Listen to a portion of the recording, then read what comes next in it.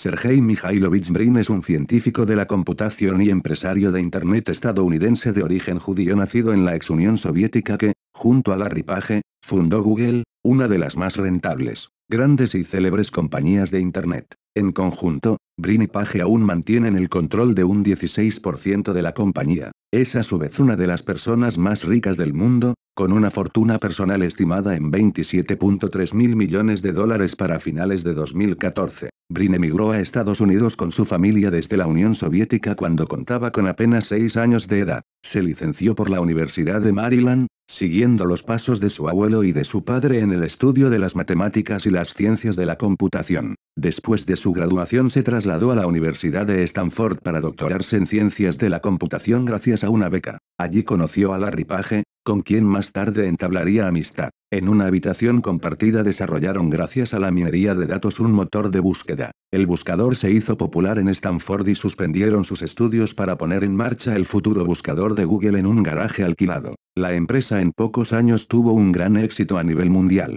Comillas.